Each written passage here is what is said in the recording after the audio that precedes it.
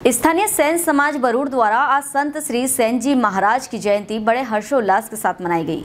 इस अवसर पर बरूड़ में सैन समाज द्वारा एक विशाल शोभा यात्रा, जो ग्राम के श्री कृष्ण मंदिर, बावनी चौक, बाज़ार चौक होते हुए वापस पुराना थाना प्रांगण पर समाप्त हुई। इस अवसर पर बड़ी संख्या में कतारबद्ध महिलाएँ एवं पुरुषों ने भजन गाकर शोभा यात्रा संपन्न की। ग्राम के सामाजिक संगठनों एवं मंडलों ने शोभा यात्रा का भव्य स्वागत किया। समाज के देवेंद्र सेन ने बताया कि हमारे द्वारा सेन जी महाराज की जयंती हर्षोल्लास के साथ प्रतिवर्ष मनाई जाती है एवं उनके आदर्शों पर चलते हुए हम समाज उत्थान के कार्यों पर लगे हुए हैं एवं पुलिस प्रशासन ने भी चप्पे चप्पे पर पुलिस लगाए, साथ ही शोभा यात्रा के साथ भी पुलिस प्रशासन बल चलता रहा। बरूड़ से रामेश्वर कुमरावत की रिपोर्ट। भाई साहब, आज समाज सैन जयंती मना रहा है।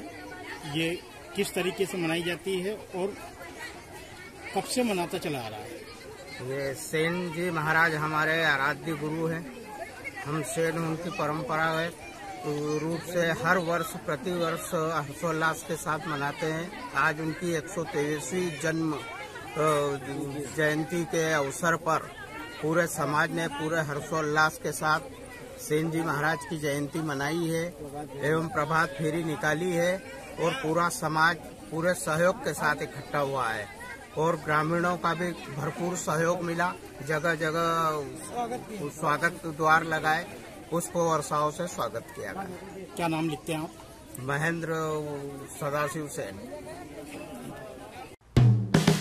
हेलो फ्रेंड्स आप देख रहे हैं हमारा channel S W twenty four news हमारे सारे वीडियो सबसे पहले देखने के लिए आप हमारे चैनल को सब्सक्राइब करें और पास में लगे बेल आइकन को दबाना बिल्कुल भी ना भूलें।